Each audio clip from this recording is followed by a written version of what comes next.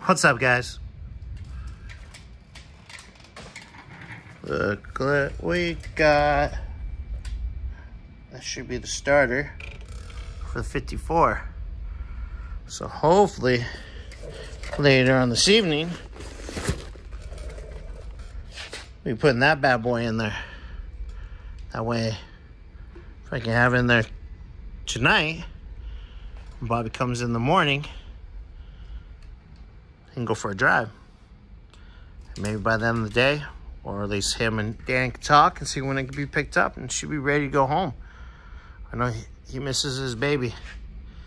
It's a beautiful car. But, yep, that's, uh, that came in, so I thought I'd do a quick video.